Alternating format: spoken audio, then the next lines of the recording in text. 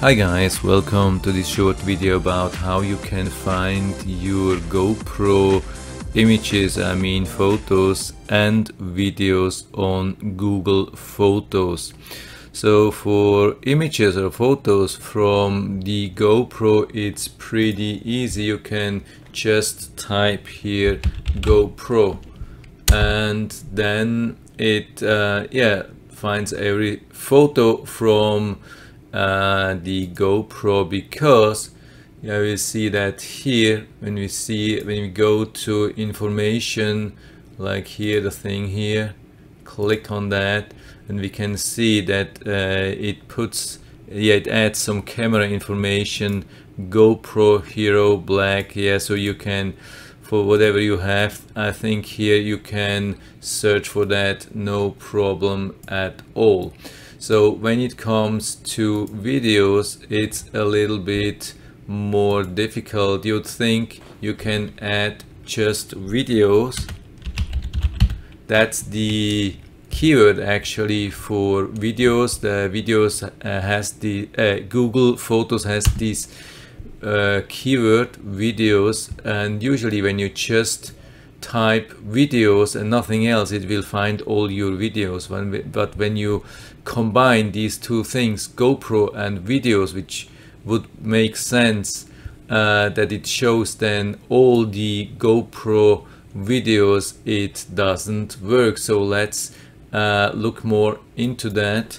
So I have a file which I know for sure which is a GoPro video. So I copy that here and uh, yeah so it comes here. I can click on that and you can see uh, also in information here on the right side that um, yeah it says only the it gives you only the file name uh, resolution and so on but nothing about the camera which you use for recording that's uh, really a bad thing so you can't google for that but at least we get the file names. File names are always pretty similar for GoPro so now we can do something else and we can just um, yeah add some wildcards here and of course you would think okay let's go yeah let's delete everything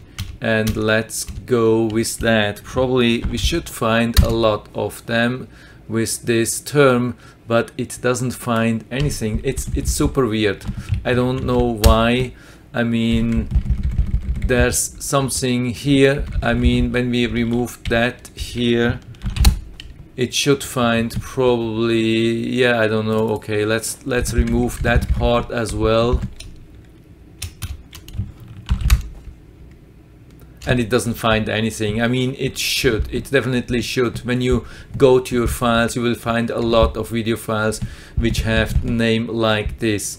I mean, we can continue replacing some of the terms here, something like that, and it still won't find anything. So when we remove this thing, the third character, then it will start finding things. But it gets uh, yeah we can do that also easier. We can remove the whole thing here and leave just gh star dot mp4 and now we have everything as well. I think that's everything. I'm not 100% sure but I'm pretty sure that these are all the videos which I have made uh, with the GoPro of course we can go down. There are much more uh, here as well. So um, yeah I would definitely recommend to use this term.